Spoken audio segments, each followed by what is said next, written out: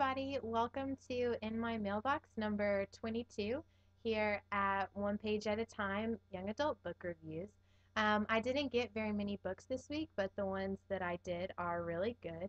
Uh, so I'm just going to go ahead and launch into those. So the first one that I got from Once Upon a Twilight Book Tours was Abandoned by Meg Cabot.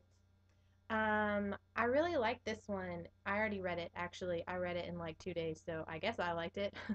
um, it's about the Hades Persephone mythology, um, sort of. Uh, definitely be looking for a review from that very soon. Um, and I really like the cover of this one. It's really pretty. I mean, I know there's like the tag for the book tour thing, but very pretty. So this was really good. Um, like that a lot.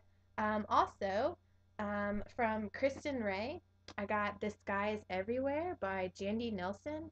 Um, I've heard a lot of really great things about this one. I haven't read it yet. I'm not a huge contemporary fan, um, but I don't know. Everyone kept raving about it, so I was like, okay, I gotta get this. So I decided that I would swap with Kristen for this one, and I think it's gonna be really great. I haven't read this one yet, so not sure. Um, and then from Flux Books, I got Sirenz.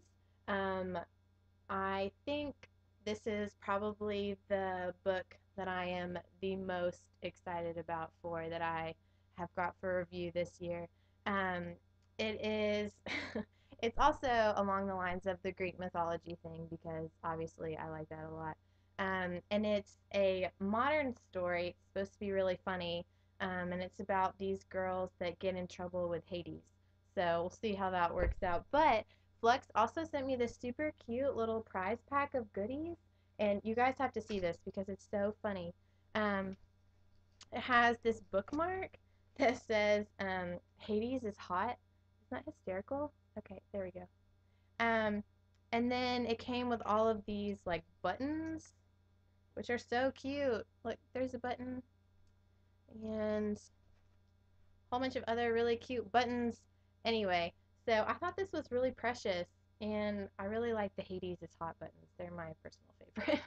so anyway, um, can't wait to read this one. We'll definitely be reviewing this one on the blog very soon.